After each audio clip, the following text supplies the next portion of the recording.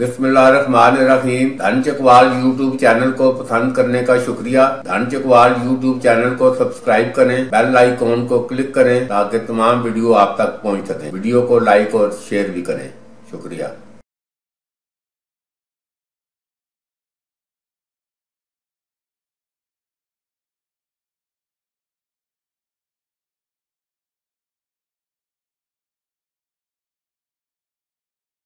ये दो रोज़ की बादों की शदीद गर्मी के बाद ये इधर जुमेरात को सुबह साढ़े नौ बजे के करीब अचानक ये गहरे बादल आए और फिर ये दस बजे फिर उससे एकदम बादल नीचे हुए हैं और ग्यारह बजे हल्की बारिश हुई है।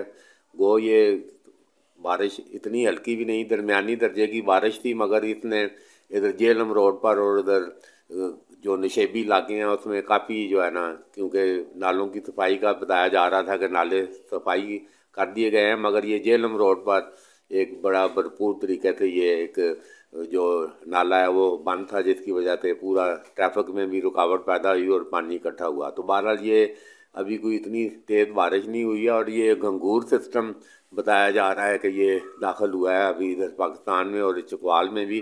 तो ये कल और परसों भी इसमें मदीद बारिश की पेश गोई है। तो बहरहाल ये यूँ ही इधर बारिश जो है ना, ये अल्लाह की रहमत है और ये पीछे दो दिन थे जो शदीद गर्मी थी, उसकी वजह से इस बारिश ने मौसम इंतई खुशगवार कर दिया है। तो बहरहाल ये अब बादों का महीना भी शुरू हुआ चाहता है। तो ये इंतई खुशगवार मौसम था। तो बहरहाल ये अगर मजीद तेज़ बारिश ये आंदा, दो, तीन दिन में हुई तो उससे लोगों की मुश्किल में इजाफे का अमकान है। लिहाजा दिल इंतज़ामिया को चाहिए कि ये डायमंड जोबली जो योम अगस्त की तकरीबात हैं, उसके लिए जो है ना ये नालों की सफ़ाई और ये शदीद बारिश की सूरत में जो पानी इकट्ठा ना होने पाए और लोगों की मुश्किल में इजाफा ना हो।